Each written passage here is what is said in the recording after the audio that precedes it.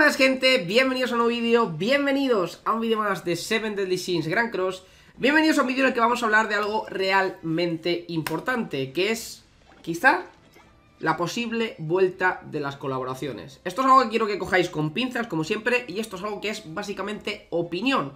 Simplemente vengo a contaros qué es lo que pienso, vengo a contaros, dependiendo de lo que va a aparecer en el futuro, qué es lo que creo yo que acabará pasando pero, de nuevo, esto es algo que, no puedo confirmaros, así que con lo cual me gustaría que me dejaseis vuestra opinión en los comentarios. Siempre lo tenéis ahí abajo, es algo que, bueno, siempre leo, os lo he dicho muchísimas veces, prácticamente nunca contesto, porque para tener feedback, como siempre tenéis los directos, que por cierto, hoy es miércoles, así que hoy por la tarde, a las 8 de la tarde, hora española, tendremos directo en el canal de Twitch. Ve al canal, que lo tienes ahí abajo en la descripción, twitch.tv barra que ahí estamos prácticamente todos los días. Sé que spameo bastante el canal de Twitch, pero ya os lo he dicho muchas veces, es donde mejor me lo paso y donde tengo conversaciones con todos vosotros, así que pasaos por ahí. Hoy, gente, vengo a hablar de el regreso de las colaboraciones. Voy a comentar algo que es parte de leaks, es decir, filtraciones por parte de gente que se dedica básicamente a hacer esto, que es, pues bueno, entrar a los datos eh, privados del juego y sacar esa información que por norma general no deberíamos tener acceso a ella. Hay gente en el vídeo de ayer en el cual hablé sobre los leaks, sobre los próximos personajes, que serían Starosa, Gouther y demás, que me llamó hipócrita porque dije eh, en varios vídeos de One Piece que yo no estoy a favor de los leaks. Esto es algo que eh, ya lo he dicho muchísimas veces, lo dije también con Grand Cross en su momento, pero esto es algo que tenéis que entender, y es que yo creo contenido de estos juegos. Eh, si queréis llamarme hipócrita, me podéis llamar hipócrita, no tengo ningún tipo de problema. De hecho, pues bueno, no voy a, ni a borraros los comentarios ni nada por el estilo. Pensad lo que, queréis, lo que queráis, pero me veo obligado a hacer este tipo de cosas. En su momento, cuando salió Grand Cross, me negué totalmente a hacer contenido de filtraciones, todo el mundo hacía contenido de filtraciones y yo me quedé atrás por no hacer contenido de filtraciones. Pues en One Piece Fighting Path voy a hacer exactamente lo mismo. No haré contenido de filtraciones me quedaré atrás eh, por X o por Y y bueno, ya veremos en el futuro si acabo hablando sobre ello. Por desgracia, es información que todo el mundo sabe, es información que todo el mundo conoce y no me puedo privar de hablar de ella en alguna que otra ocasión. Y en particular con Nanatsu, ya me rendí hace muchísimo tiempo y como es algo que tampoco me interesa en exceso, pues bueno, me entero y ya está. Y os lo traigo aquí, que sé que muchísimos de vosotros os interesa. Con el One Piece, ¿qué pasará? No lo sé. Por lo pronto voy a evitar hablar de leaks, pero es lo que hay. Eh, si me, que me dedico a crear contenido sobre esto, tengo que traeros información. Si no traigo información, ¿a quién buscaréis? ¿A otro que la traiga? Pues bueno, es oferta y demanda, gente. Es lo que hay, tenéis que entenderlo, no hay mucho más. Y después de este pequeño momento de spam y de simplemente, pues bueno, hablar un poquito de mis mierdas, vamos a hablar, insisto, de algo que formaría parte de los leaks, formaría parte de información que se filtró ya hace Diría un mes o así. Cuando ya tuvimos información sobre el nuevo Arturo, también tuvimos, como siempre, que si notas del parche, que si demás. Eh, siempre tuvimos también algún que otro personaje filtrado. Creo que estaba por ahí el personaje este que es como Van, pero que es la novia. Es que, ¿por qué a, los Vans les gustan las alitas así chiquititas? Tengo miedo. Pero bueno, eh, que sería como Van, un personaje que estéticamente es como Van. Y básicamente, eh, a ver si lo puedo encontrar y os lo digo directamente sin ningún tipo de fallo. Creo que lo tengo por aquí. Aquí está, que si Kaz, que si Gelda, que si Kyusak, etc. Había uno de los cambios en dichas notas del parche que suele eh, proporcionarnos Regents, donde nos decían que unidades de la Slime, de la colaboración del Slime, van a ser bufadas. Esto es algo que salió también en el podcast de los gachavales, que si no seguís a los gachavales eh, os recomiendo, tanto en Twitter como en Twitch, como en, todas las redes sociales, en Reddit, también en el subreddit. Pues básicamente este tema salió a la luz. Y es, ¿qué pensábamos después de ver estas filtraciones, después de ver esa pequeña eh, filtración que se, que se, hizo hace ya un tiempo? ¿Qué pensábamos que iban a hacer con los personajes de la collab? Como sabéis, los personajes de la collab del slime fueron los primeros personajes en aparecer como colaboración Luego apareció la de Shingeki, luego apareció la de KOF, si no recuerdo mal, y ya estamos en las colaboraciones actuales. Creo que no me estoy dejando ninguna. Eh, ahora sería Stranger Things y luego Recero, ¿no? Pero los personajes del Slime tienen la peculiaridad de que al ser los primeros personajes de colaboración, en su momento estaban decentes, pero a día de hoy ya son totalmente inútiles. O sea, es, no cabe en la cabeza de absolutamente nadie que un personaje como estos se pueda llegar a utilizar. Son personajes muy chulos, son personajes muy bonitos, pero como ya tienen muchísimo tiempo dentro del juego, son prácticamente inviables. Esto no ha pasado con todos los personajes, hay algún personaje UR que ha sobrevivido a este paso del tiempo, como yo que sé, A lo mejor no son los más viables del mundo, pero puedes utilizar a Merlin Roja, puedes utilizar a Van, puedes utilizar a Gilzander en según qué situaciones, pero estos personajes ya os digo yo que no los he visto prácticamente nunca, excepto en su momento, que estaban bufados para el evento. Reimuru, o Rimuru, que a mí me gustaba llamarlo Reimuru, que era, eh, por así decir, el protagonista, bueno, por así decir, no, es el protagonista, sí que tenía su gracia, pero tiene un kit bastante anticuado para lo que estamos acostumbrados ya dentro del propio juego, y es que, bueno, no creo que sea viable utilizar un personaje como este a día de hoy.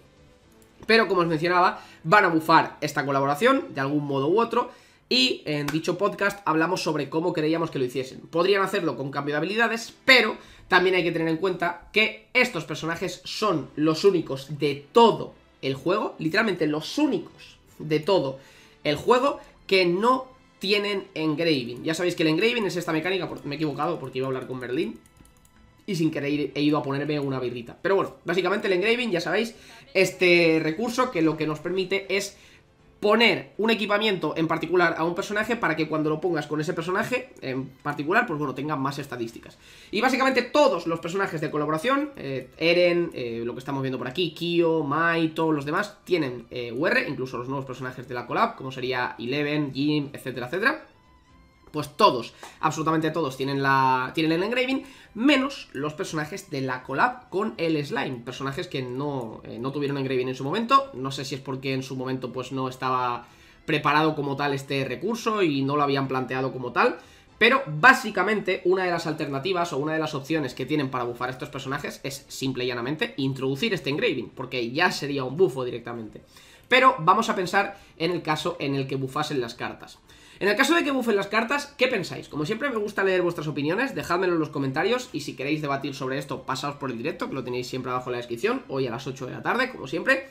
Pues, ¿qué pensáis? ¿Es, ¿Es justo? Yo creo que no es justo. Ya sabéis que las colaboraciones hasta el momento no han vuelto y son unidades que no se pueden volver a conseguir.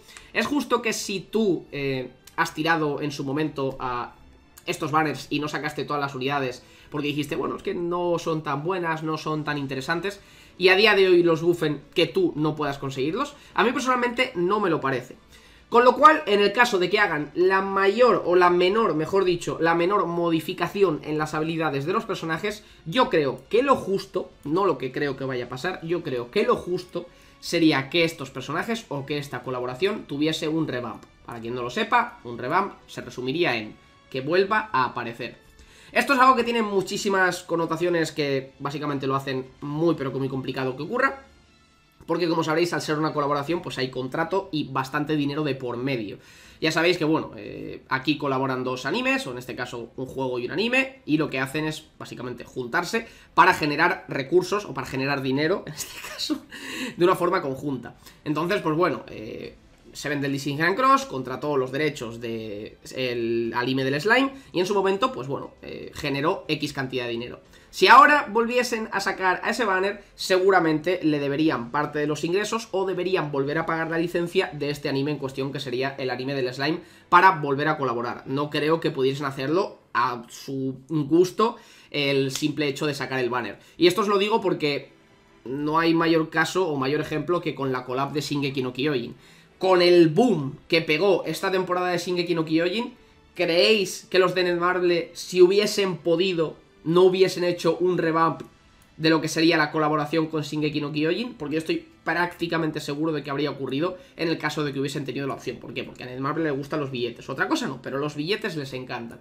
Así que, pues bueno, esa sería mi opinión al respecto. Hay temas legales de por medio, hay bastante pasta de por medio, y es algo que, bueno, puede limitar esto. Opciones, que Netmarble vuelva a adquirir los derechos del slime para volver a sacar esta colaboración y que vuelvan a aparecer los banners del slime con los personajes bufados. Entonces, pues bueno, esa sería una de las alternativas, que Netmarble vuelva a pagar por los derechos y tengamos de nuevo el banner con los personajes bufados y que la gente que ya los tenga, pues bueno, tenga la opción de volver a tirar, conseguir más dupes o simplemente pues ya los tiene y no tiene que tirar absolutamente nada más. Pero en el caso de que los personajes, insisto, sean bufados como tal con sus habilidades, me parecería muy injusto que la colaboración no fuese lanzada de vuelta. Y regalar los personajes no creo que los regalen, honestamente. En el caso de que los bufen, en el caso de que vuelva esa colaboración, sería la primera colaboración en volver en toda la historia de Grand Cross y esto sentaría unos precedentes, porque estamos acostumbrados a que este tipo de banners no vuelven. Y en el caso de que volviese, ya no sería tan importante tirar a las colaboraciones, porque en algún momento cualquiera de ellas podría volver. Sí que es cierto que con esta, este anime o con esta colaboración en particular, el caso es más grave, en el sentido de que los personajes son totalmente inútiles, no tienen engraving y demás, con lo cual, pues bueno, eh, que volviese esta colaboración tendría algo más de sentido que que volviese a la larga Recero, pero podría volver, ¿no? Podría volver y eso significaría que tú podrías esquipear un banner de colaboración sin las connotaciones negativas que eso podría tener en, tu futuro, ¿no? En el futuro de tu cuenta. Pero sí que es cierto que si van a tardar en volver un año y medio o dos eh, respecto a cuando aparecieron por primera vez, tampoco es que te vaya a salir tan bien la jugada. Pero bueno, ya tendrías la oportunidad de esquipear algún que otro banner de collab porque acabaría volviendo.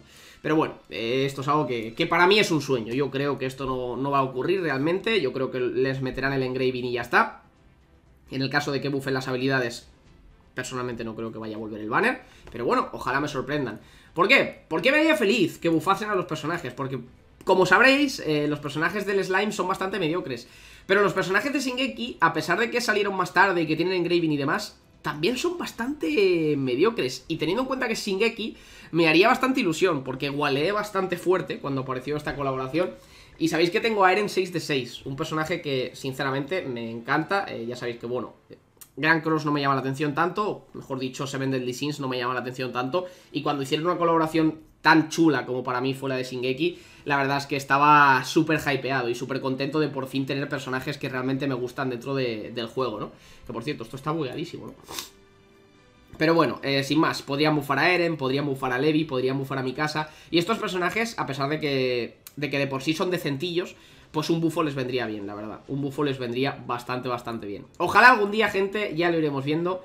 De momento es todo un sueño e insisto, me gustaría que me dejaseis vuestra opinión sobre lo que creéis que va a pasar en los comentarios.